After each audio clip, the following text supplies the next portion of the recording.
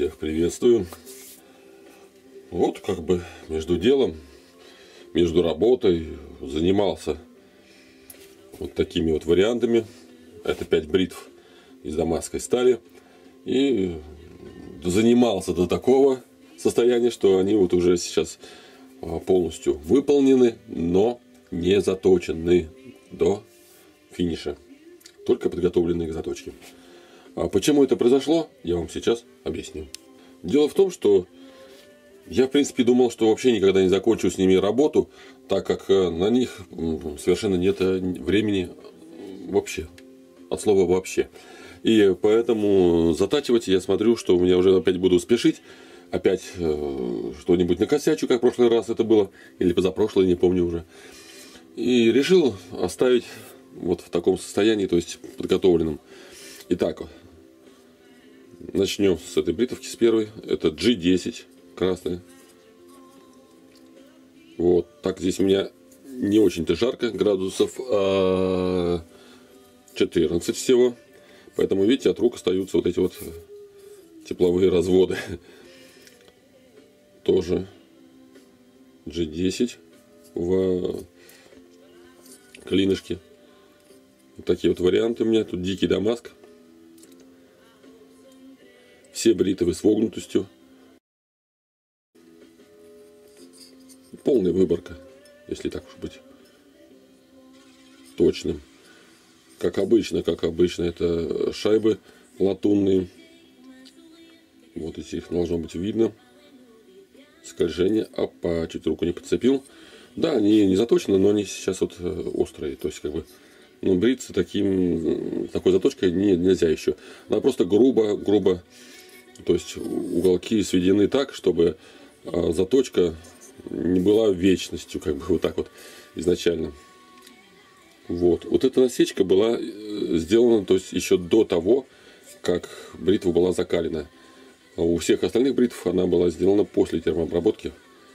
Поэтому разница большая. В этом смысле, если кто-то понимает, то поймет. Они все такие вот с тоненьким лепестком. Сейчас покажу, что такое тоненький лепесток, что такое полная выборка. Вот это как раз такие бритвы у нас на сегодня. Наверное, вот так надо показывать.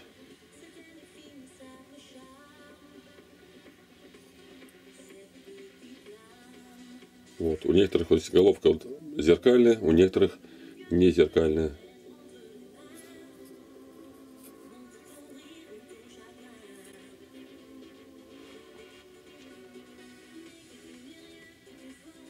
Надеюсь, мне удастся показать вам.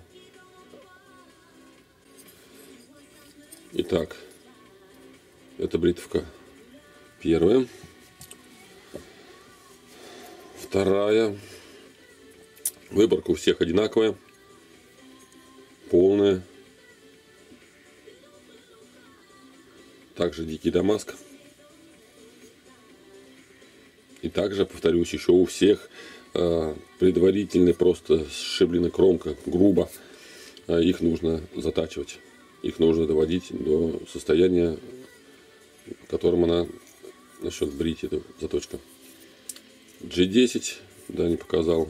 G10, G10. Оправа. Это упругая, упругая, долговечная, которая не боится ни царапин, ни, ни воды, там, ни жары, ни холода, ничего она не боится. Это G10, то есть это как бы американский стеклопластик, и поэтому ему все равно.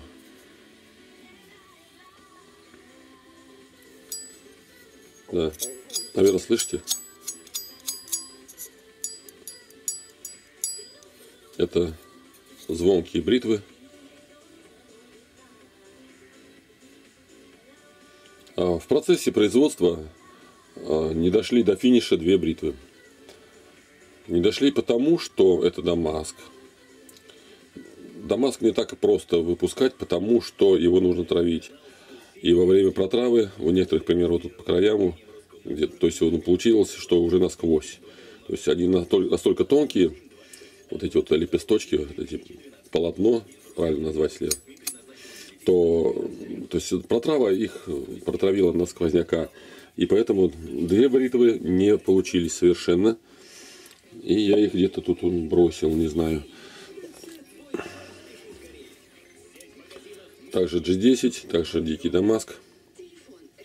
Вот здесь вот видите, как высоко заскочил из этой грубой заточки. При заточке на камне вот эта вот э, кромка, она заужается. Она не будет такой широкой. Также G10. И также полная выборка. Так, показываем.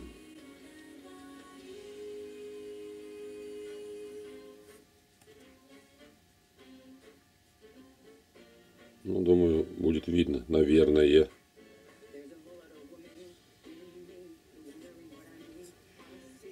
Такие не тяжелые бритвы.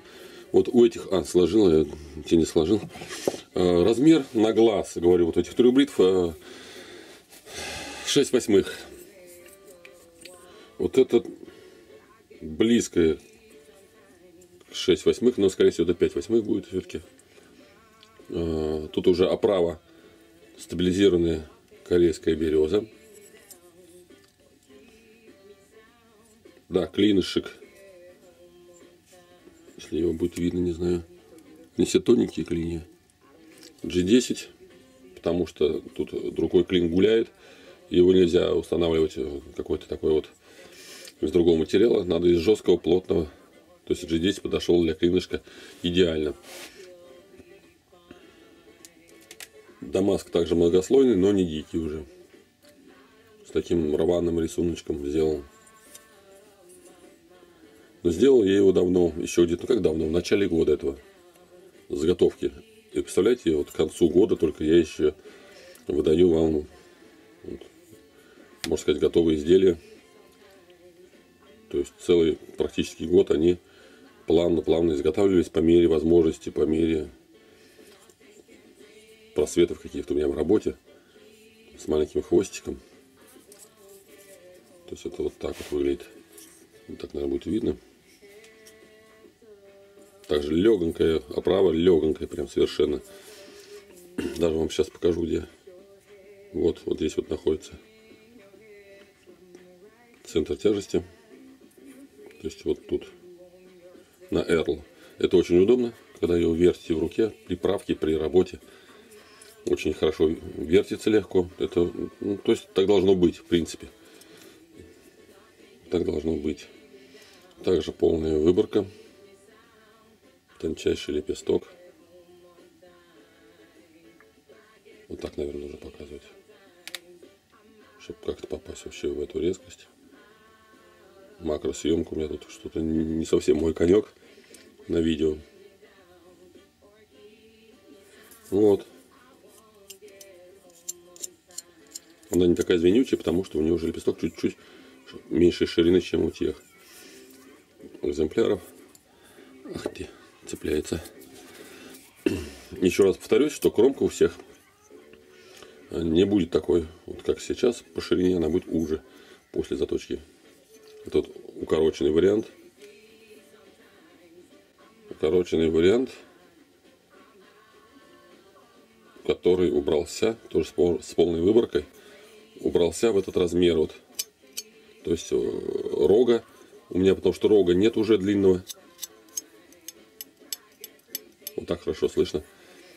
Вот. А тут э, натуральный черный рог. Клинышек также натуральный. Тот же самый черный рог.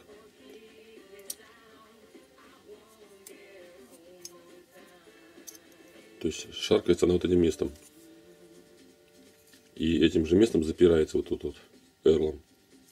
Хоп, и все, она уже никуда. Вот так вытаскиваете, оно же, видите, шваркается по этому месту.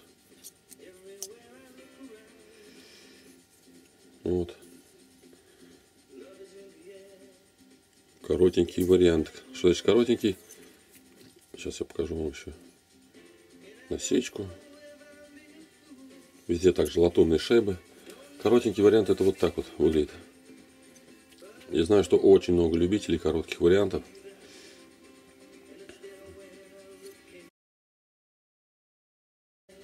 Камера совершенно не хочет подать. Вот видите, даже структуру рога видно.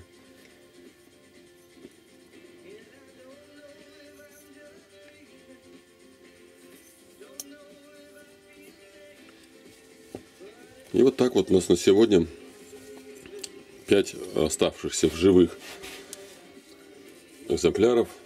Так как я вам еще раз повторюсь, два вышло из этого соревнования на выживание, так сказать. И вот вывешиваю его на сайте сегодня. Они будут доступны для заказа. Цена будет, естественно, снижена из-за того, что нет финишной заточки. А, но так как заточка финишная стоит в среднем всегда у всех э, где-то полторы тысячи, я снижу тысячи на три с запасом. Как говорится, еще за заботой вам еще полторы тысячи срезаю в ценнике. Думаю, что это будет неплохой вариант для того, чтобы э, человек не расстроился, что, например, там переплатил за незаточенную бритву, а потом побежал затачивать. Нет, я вам оплачиваю, получается, двойную даже заточку. Ну, надеюсь, что это не последние еще варианты. И может быть что-то я когда-нибудь еще и выдам вашему вниманию. А на этом все. Встречайте 5 новых экземпляров. И до новых, надеюсь, встреч.